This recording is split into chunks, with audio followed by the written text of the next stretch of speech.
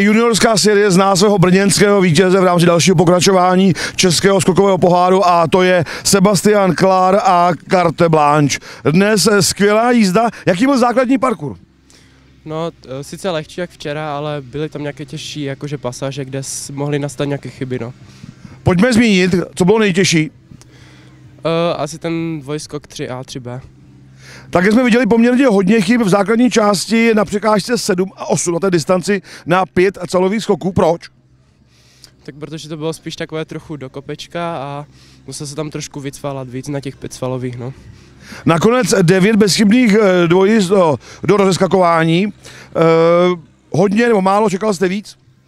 Mm, tak hodně jsem čekal, no, spíš, spíše hodně.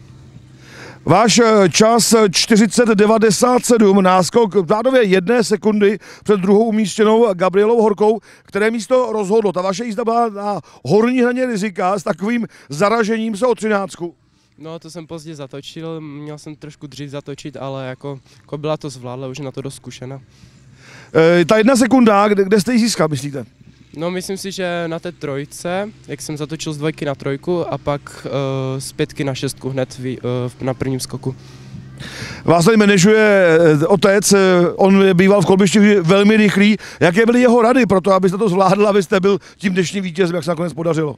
Tak řekl mi hlavně, ať to jedu na pohodu, hlavně ať nezmatkuju a ať to pojedu podle svého pocitu, kde se mi bude chtít zkrátit a kde ne. Prostě, že je to na mě. Jak ok- okomentoval to zastavení u třináctky? No, neřekl k tomu nic, jak jsem dojel parkour, tak řekl, že to bylo super, že jsem blázen prostě. Výborně, blahopřejeme a držím palce. Děkuji moc.